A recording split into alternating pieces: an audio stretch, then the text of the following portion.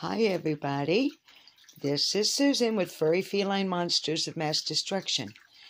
And I just wanted to uh, make this very short video um, in comparison to some of my others to uh, show you how it worked out to put a viewer's recommendation into practical application.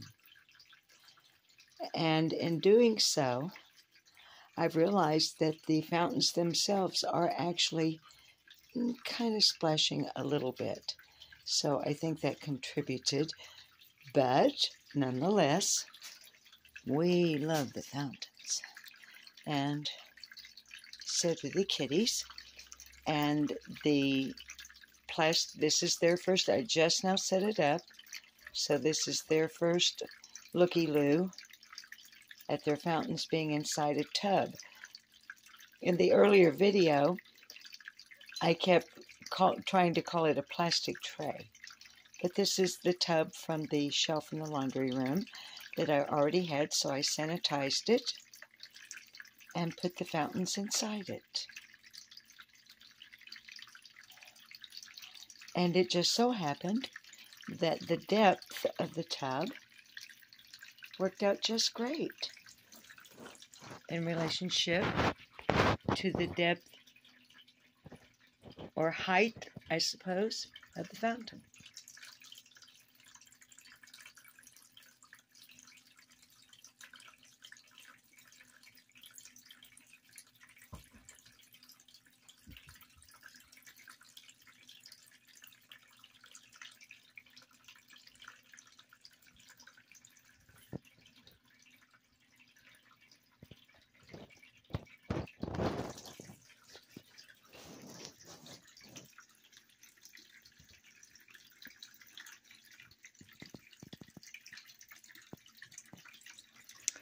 So did that work out pretty well first time around?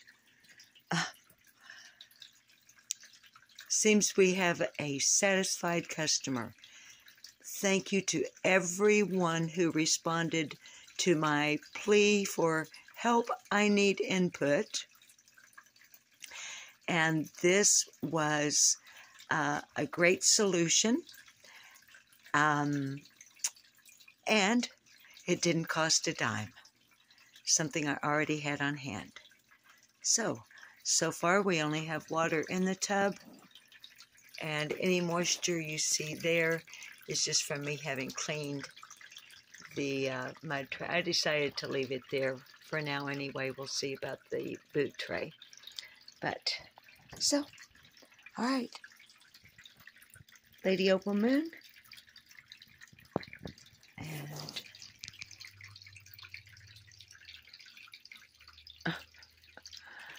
Utah? Sorry, Betty. And I gotta get, I'm an old lady, I gotta get up. Ooh. Ah. And summer.